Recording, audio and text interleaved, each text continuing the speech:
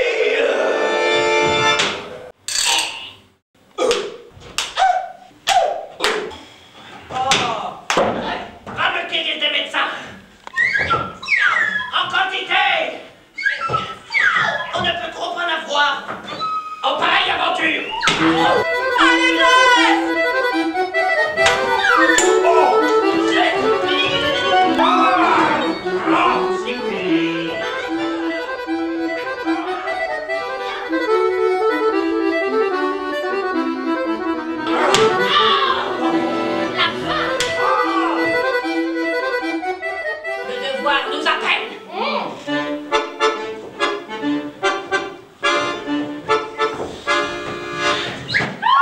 Si vous ne faites saigner votre fille tout à l'heure, c'est une personne morte